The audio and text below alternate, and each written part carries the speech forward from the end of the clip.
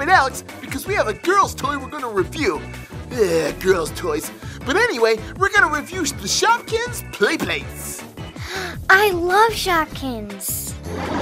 Now we get Shopkin play sets. It's a Shopkin happy place where you can place all your Shopkins.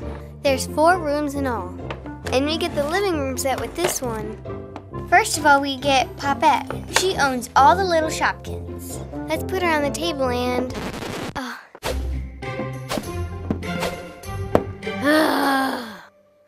What a stupid toy. It doesn't even stand up. oh, wait a minute. There's a stand for it. Now we can stand her up and she won't fall. Yay! In the box, we get exclusive Shopkins. Get a couch, cactus plant, coffee table, popcorn bowl, salt, wood holder, fireplace, and two wood blocks. They're small, they're cute, and they have tiny little faces on them.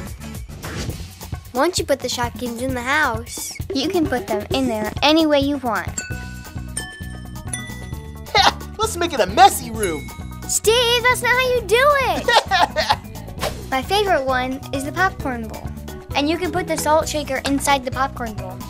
Mmm, yummy. I love popcorn. Oh man, I want some popcorn.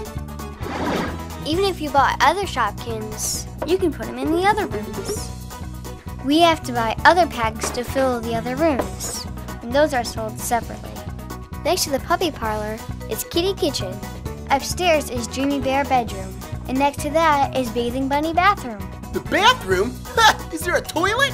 No, Steve. Oh, that's okay. I'll just use the fireplace.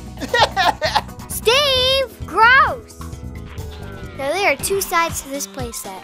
And on the other side, it looks like a house. It's all decorated and colorful. And there you go, the Happy Places playset.